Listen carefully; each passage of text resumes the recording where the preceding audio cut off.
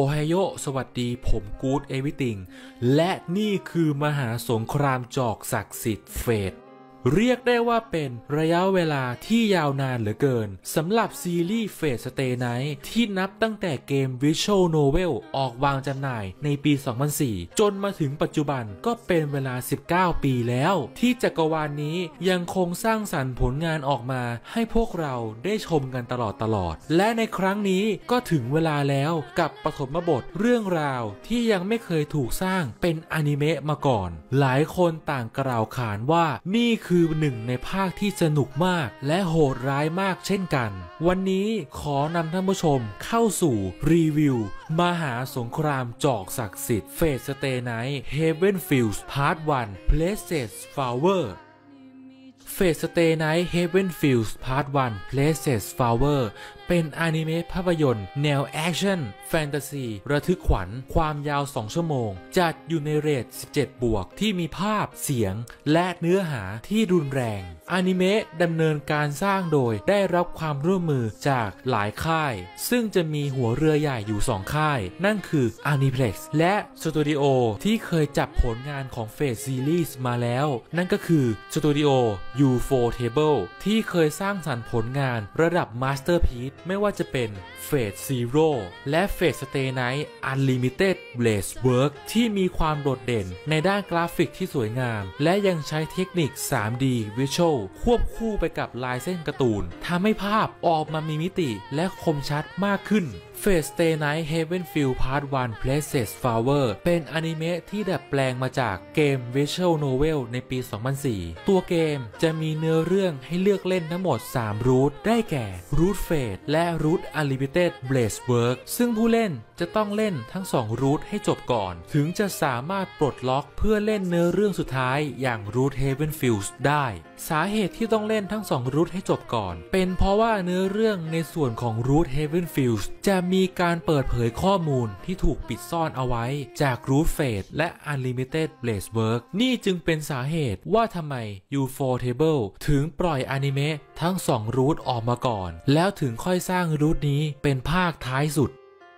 เข้าสู่ช่วงรีวิว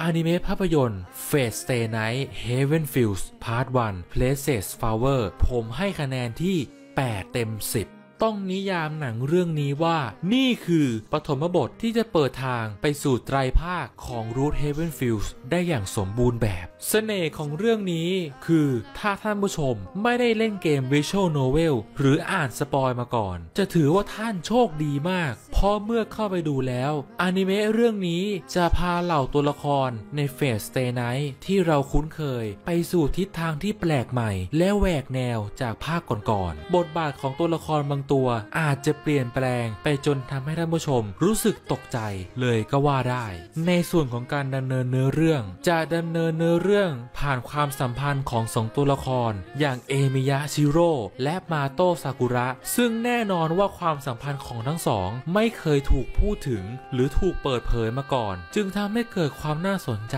มากขึ้นกว่าเดิม ในส่วนของเพลงประกอบก็ได้นักร้องสาว เสียงเป็นเอกลักษณ์ เธอเคยรับหน้าที่เป็นผู้ร้องเพลงเปิดให้กับจักรวาลเฟสมาหลายครั้งแล้ว ไม่ว่าจะเป็น Broken Night Hollow World Last Stardust และ Brave Child เธอคือศิลปินและนักแต่งเพลงเอเมะในครั้งนี้เธอก็มากับเพลงเศร้าอย่างฮานาโนะอุตะ ที่เหมาะสำหรับนางเอกในภาคนี้อย่างซากุระมากๆ แต่ถึงแม้ว่าจะพูดชมมาขนาดนี้ ตัวอนิเมะก็ยังมีข้อบกพร่องอยู่บ้าง ต้องบอกเลยว่าก่อนที่จะดูอนิเมะเรื่องนี้ ขอแนะนำให้ท่านผู้ชมตามเก็บอนิเมะภาคเก่าๆให้ครบก่อน โดยอาจจะเริ่มจาก Fate Zero แล้วตามด้วย Fate Stay Night Unlimited Blade Works ก็ได้ เพราะนี่คืออนิเมะภาพยนตร์ที่เจาะตลาดเฉพาะกลุ่มแฟนคลับโดยตรงเท่านั้น ตัวอนิเมะจะมีการข้ามฉาก หรือการอธิบายโครงสร้างของสงครามจอกศักดิ์สิทธิ์ที่ถูกย่อให้สั้นลงทำให้คนที่ไม่เคยดูภาคก่อนๆอาจจะสับสนได้ แต่ถึงอย่างนั้นแล้ว โดยรวมอนิเมะเรื่องนี้ก็ทำออกมาได้ดี และน่าพอใจพอสมควรเสน่ห์ของซีรีส์ Fate Stay Night ไม่ใช่ฉากต่อสู้ที่ดุเดือด หรือฉากพิธีกรรมที่น่าสยดสยอง แต่เป็นเรื่องราวของเหล่าเซอร์แวนและ Master ที่มีชั้นเชิงในการต่อสู้ถ้าคุณเป็นแฟนคลับของซีรีส์นี้ และติดตามผลงานมาอย่างยาวนานอนิเมะเรื่องนี้จะทำให้คุณเซอร์ไพรส์และสนุกได้อย่างแน่นอน ขอบคุณข้อมูลดีๆ จากแฟนเพจอนิเมะไทยแลนด์ด้วยนะครับ ถ้าการพูดหรือการอ่านคำที่ผิดเกิดข้อผิดพลาดใดๆทางข้อมูล ต้องขออภัยมาณที่นี้ด้วยนะครับท่านผู้ชมมีความคิดเห็นอย่างไรกับสงครามจอกศักดิ์สิทธิ์ในวันนี้ อย่าลืมมาแสดงความคิดเห็นทางช่อง Good Everything และแฟนเพจเลมเลียมบังเมะกันได้นะครับ สุดท้ายนี้ Fate Stay Night Heaven's Feel Part One Presage Flower เข้าฉายแล้วในโรงภาพยนตร์ที่ร่วมรายการ สามารถสอบถามรายละเอียดเพิ่มเติมได้ที่เว็บไซต์ Major Cineplex Dex Club และ Japan Anime Movie Thailand ครับสำหรับวันนี้ผมกู๊ดเอวิติงลาไปก่อน เจอกันใหม่คลิปหน้า ซาโยนาระ สวัสดีครับ ถ้าชื่นชอบคลิปหรืออยากรับชมคลิปอื่นๆก่อนหน้านี้ สามารถรับชมได้ที่ช่อง Good Everything ง่ายๆ โดยเข้าไปที่ YouTube แล้วพิมพ์คำว่า Good Everything เป็นภาษาอังกฤษ เมื่อเข้าไปแล้ว รบกวนฝากกด Subscribe เพื่อติดตามและเป็นกำลังใจให้กันด้วยนะครับ